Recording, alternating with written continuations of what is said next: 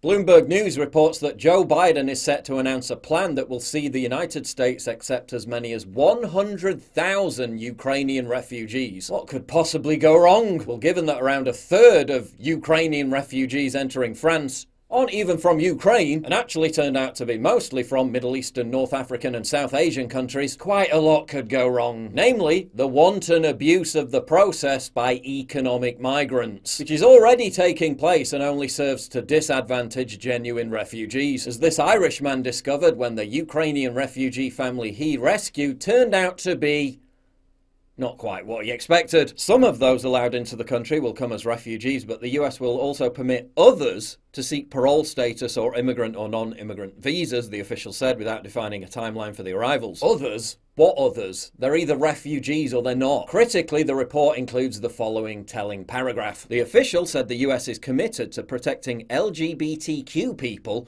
and those with medical needs that have been disrupted by war. As I highlighted yesterday, transgender Ukrainians who now identify as women are being turned back at the border. Ukrainian officials are refusing to let them flee and ordering them to return home to fight because they're legally registered as being men. And as the Danish Prime Minister asserted, quote, being a refugee is temporary. Asylum status should only be maintained as long as the war is ongoing. At some point, they have to go back. Is that factored into Biden's plan to accept 100,000 Ukrainian refugees? Well, given that the report says the refugees will be eligible to enter the United States over the course of several years, it doesn't look like it. Meanwhile, the Irish government has pledged to take in a whopping 200,000 Ukrainian refugees. Today, on their way into cabinet, ministers were confirming that the now estimated number that Ireland has to plan to receive is 10 times that number 200,000 people. Adjusted for population population size, that would be the equivalent of the United States taking in 13.2 million Ukrainian refugees. And given what we've seen in France, around 60,000 of that 200,000 Ukrainian refugee number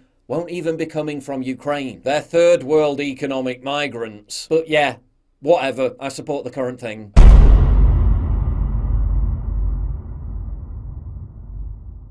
To get exclusive content, early access, behind the scenes stuff, and to personally interact with me, please sign up for my community at pauljosephwatson.locals.com.